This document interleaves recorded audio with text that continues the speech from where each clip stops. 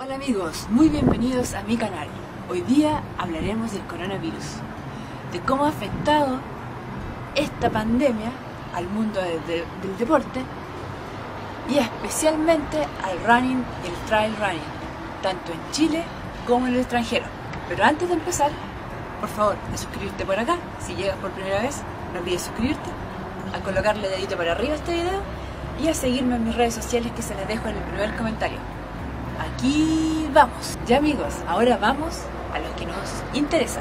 ¿Se acuerdan que hace unos meses le presenté todas las carreras en que participaría este 2020?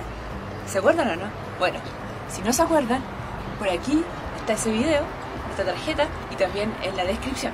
Y si ya vieron el video, olvídense de todo, porque el coronavirus hizo reprogramar y cancelar la mayor parte de las carreras tanto en Chile como en el extranjero. Así que amigos, solo queda esperar, aguardarse y que esta crisis sanitaria pase. El mayor desafío que yo tenía este año era correr por primera vez mis 42 kilómetros en la Maratón de Santiago, la cual se iba a realizar en mayo, el 17 de mayo.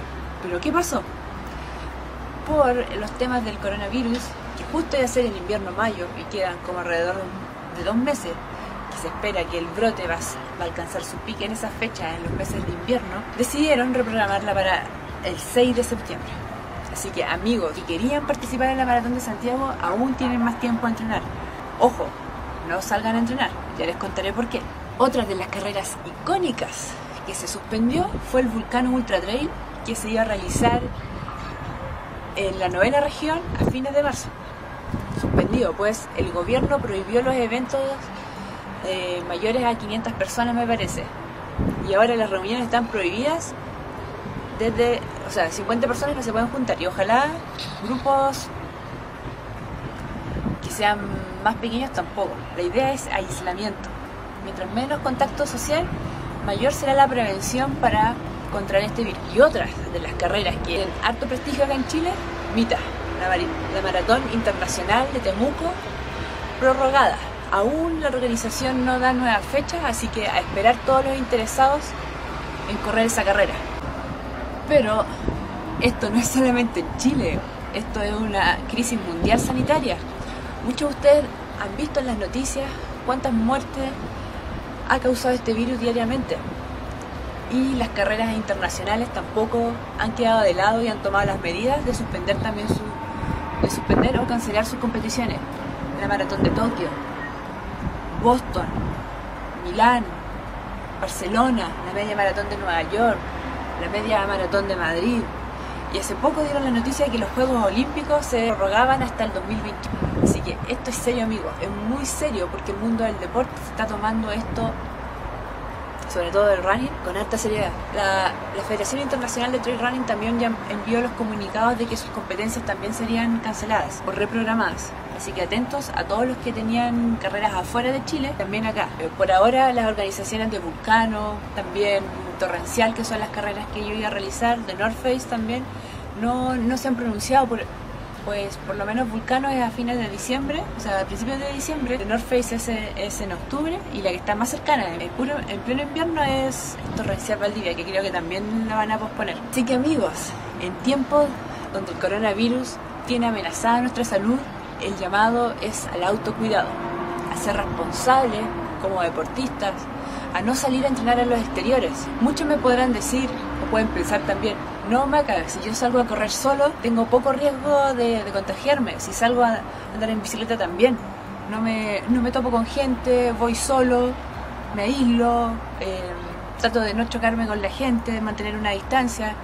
En bicicleta también, si, si voy al cerro también estoy sola, sola, haciendo mountain bike también. No tengo mucho riesgo de contraer el virus. Pero ojo amigos, seamos solidarios, pues nosotros tenemos algún accidente. Las urgencias están ya llenísimas. ¿Para qué causar un dolor de cabeza más a, a, médicos de urgencia atendiendo una urgencia traumatológica? Autocuidado, por favor, las lesiones pueden prevenir quedándonos en casa, podemos entrenar en casa. Ojo también, ustedes van a entrenar afuera. Hay muchas personas que tienen malos hábitos, que tienden a escupir en el suelo, a limpiarse la nariz también y tirar todas sus bacterias y virus al aire. Entonces, que no llevan pañuelo. He averiguado con, contactos y son doctores. Y tú, obviamente, si te alejas de ellos no tienes problema. Pero ¿qué pasa si ellos tiran todas esas cosas al suelo, a la superficie? Tú corriendo, andando en bicicleta, te lleváis eso a la, a la rueda o a los zapatos y lo llevas a tu hogar. Y en tu hogar tú puedes ya traspasar ese virus a toda tu familia. Se ojo ahí, lesiones, de no exponerse a tener lesiones y de salir porque es verdad, uno todos los días está expuesto a, a diferentes, no solamente el coronavirus, puedes contraer cualquier tipo de enfermedad exponiéndote al exterior, pero se ha demostrado ya con todo lo que se ha visto en las noticias, de todas las muertes, de los hospitales que esto es algo serio, así que hay que tomarle el peso. No olviden tomar todas las medidas necesarias para prevenir esto, aislamiento social.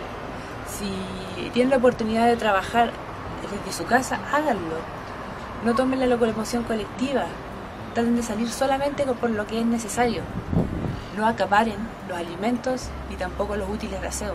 Por favor, ser solidarios entre nosotros. Y ahí les dejaré en un link las recomendaciones que da al menos la H o el Ministerio de Salud con respecto al, al, auto, al autocuidado que hay que tener y también un, unos tips de, de trabajo. Así que amigos, los invito a quedarse en casa, entrenar en casa. Después de que pase toda esta crisis sanitaria tendremos todo el tiempo de sentirnos libres, corriendo por los cerros, por las calles, andando en bicicleta, haciendo descensos.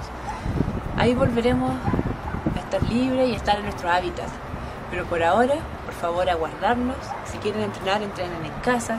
Hay muchos videos en YouTube en los que pueden entrenar, diversas aplicaciones. Si tienen cualquier duda de entrenamiento o, o aplicaciones donde dan, donde dan entrenamientos para hacer en casa, déjenlo en los comentarios. Yo les doy las recomendaciones y las aplicaciones que yo uso para entrenar en la casa. Así que amigos, ya estamos terminando este video. Si te gustó este video, por favor, ya saben, colocar me gusta, suscribirse por acá y seguirme en mis redes sociales que se las dejo en el primer comentario.